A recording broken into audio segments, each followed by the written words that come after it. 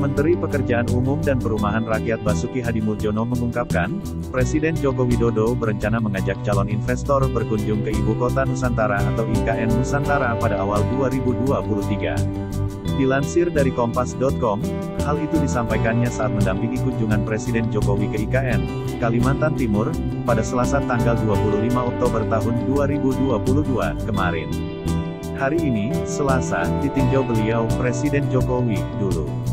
Nanti diagendakan bulan Januari atau Februari tahun 2023 investor, diajak ke sini, kata Basuki sebagaimana dilansir dari Kompas.id pada Rabu, tanggal 26 Oktober tahun 2022. Menurut Basuki, kunjungan Presiden ke IKN Nusantara kali ini karena ingin meninjau persiapan yang telah berjalan.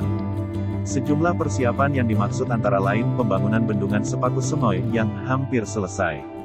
Kemudian ada pula pembangunan jalan lingkar sepaku segmen 1 sepanjang 1,75 km, jalan lingkar sepaku segmen 2 sepanjang 1,85 km dan jalan lingkar sepaku segmen 3 sepanjang 1,175 km.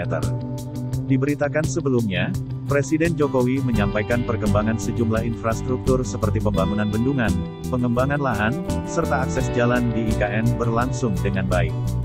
Menurutnya, secara umum kemajuan pembangunan IKN bisa dilihat pada Januari tahun 2023. Land Development untuk kementerian, untuk gedung wakil presiden, untuk gedung presiden, semuanya sudah saya lihat dalam proses persiapan-persiapan. Pembangunan infrastruktur jalan juga sudah dimulai, utamanya yang jalan tol dari IKN ke Balikpapan. Saya kira ini progres yang baik, ujar Jokowi dilansir dari siaran pers Sekretariat Presiden pada Selasa. Nanti bisa kita lihat di bulan Januari insya Allah kalau bukan hanya gedung-gedungnya pemerintah, tetapi private sector, sektor swasta, investor, public-private partnership, PPP, sudah pada masuk dan mulai. Ini yang nanti akan menggeliatkan IKN betul-betul sebagai pusat perekonomian baru dan kita harapkan ini terus bergerak, lanjutnya.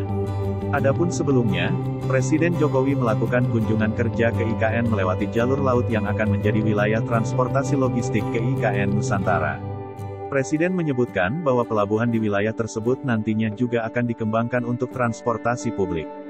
Sementara kita pakai dulu untuk logistik dan nantinya, menurut saya di pelabuhan yang sekarang ada ini, ini kan pelabuhan lama, ini akan dikembangkan juga untuk penumpang dan logistik, tuturnya. Melihat berbagai kemajuan saat ini, Kepala Negara pun optimistis upacara peringatan HATRI pada tanggal 17 Agustus tahun 2024 mendatang dapat digelar di IKN.